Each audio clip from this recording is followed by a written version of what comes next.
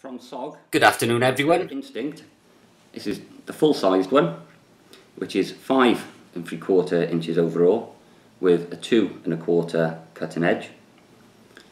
Four millimeters thick, skeletonized one solid piece of 5 CR15 MOV stainless.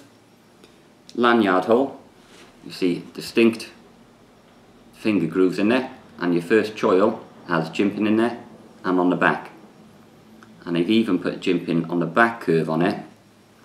So if your little finger doesn't quite fit in your little finger can come over the back of it instead. And actually so you've got grip on the bottom. So you can really get a lot of control over that knife. You can find a really nice grip on it.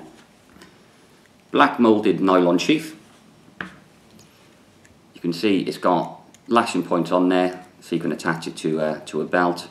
Also pocket clip which is rotatable and reversible. So just undo that and you can turn the clip on there so you can have it at different angles the drawer on there. So if you just pop the knife in, you can hear it fits in nice and firmly. That's in there very, very solid. Popping back out. So from SOG, that's the instinct.